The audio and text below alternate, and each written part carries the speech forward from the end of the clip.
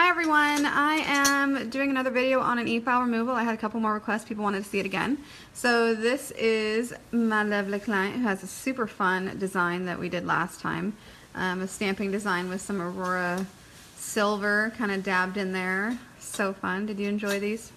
I did. Yeah, they're really fun. So I'm going to turn on my Valentino and I'm going to use, of course, sanding band, which is what I always use. Work from the top down.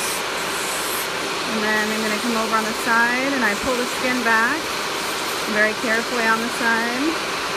And then go up around the cuticle like this, staying on the nail so that you don't create any rings of fire. And then come down the side. It looks like she's got a little bit um, right here that's missing. So when I do her fill, I'm going to go ahead and put a form on there and fix that. You never know what happens with that kind of stuff, but it happens in the real world I'm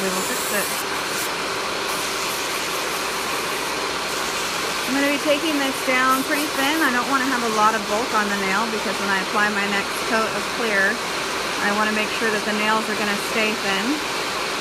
So I'm going to be taking down all of her color and any bulk that I see so that she has a nice thin nail. See if I can get a little bit more from my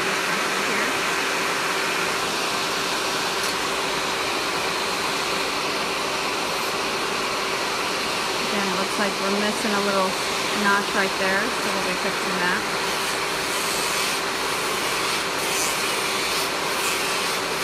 And my speed is up pretty high when I'm working down the nail because I don't want to stay in the same place very long. When you stay in the same place for a long time, that's what you get heat from. Also, if you're using a medium sanding band, you have to stay in the same place a lot longer because it's going to take you a lot longer to get the product off the nail. So using a medium, you might feel like it's a little bit safer, but in reality, because you're having to spend longer on the nail, you're going to end up getting more heat. So I am a big fan of using a coarse band and getting that off. Five pretty black and white nails. I like this design, it was fun.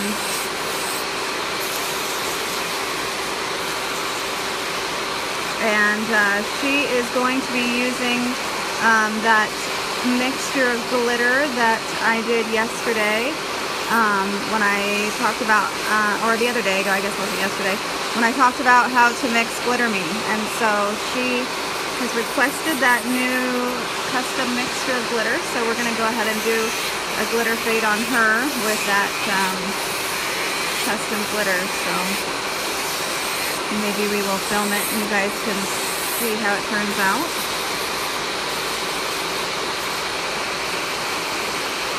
Up around the cuticle.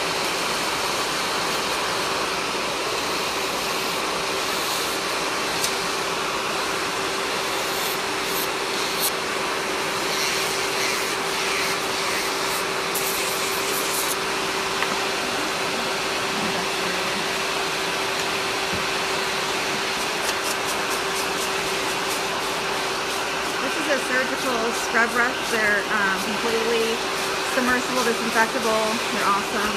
They're buck or a buck fifty at LuvNailz, so that's nice to have. Alright, next hand please. Thank you.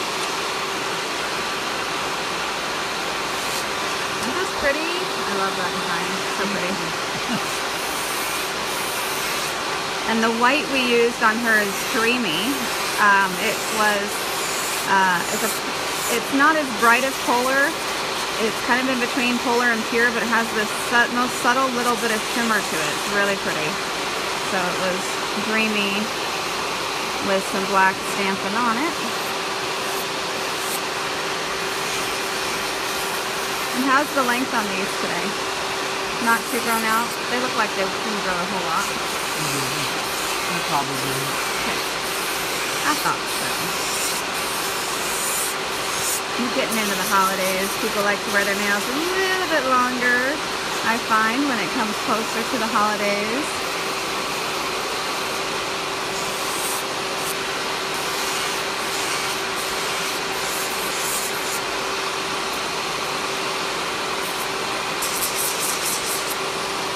So looking down the barrel, you guys can see that it's quite thin. You want to get rid of most of that bulk there. See how thin that application is? You want to get rid of a lot of that, uh, it's basically just the natural nail there, um, with just a little bit of gel protecting it. When I do her fill, that gel is going to coat over the whole nail again. So if I don't remove um, any bolts, then I'm just going to end up making nails thicker and thicker every time they come in. So I want to make sure I'm removing uh, some of the product as, it, as they come in so that you just continue to always have a nice thin application. That's what, you know, helps people feel like it's their own natural nail that's just stronger and not a fake nail is because you're able to keep the application thin when you do this um, technique where you pair this very thin layer of hard gel with these gel colors. The gel colors add a lot of strength all by themselves and that allows you to have a nice strong nail without having it be a very thick nail.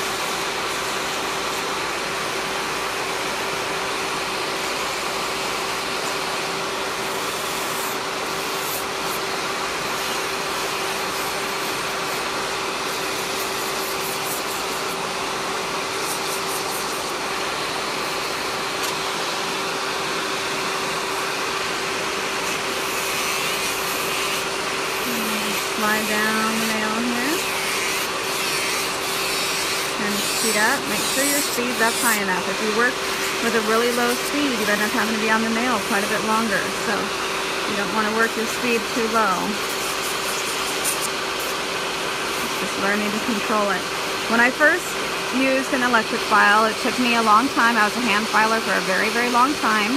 And um, my good friend Vicki Peters said shut up and do it and so I took a couple of classes from her and from others and I just started with shortening the nail and learning how to control the e-file when you shorten. Um, and then I did a lot more backfills back then so I would take the white of the backfill off and I just did that for the longest time. I didn't do anything else. And I still don't do any finish filing um, with an electric file. If I do a full set or something, um, or a backfill, I'm still going to finish file by hand. I just, I feel like I get it much more um, control and shape specific using electric uh, hand file. So, there we go. There's a quick removal. Now it's just ready for prep and reapplication. Hope you guys enjoyed this little quick tutorial. See you later.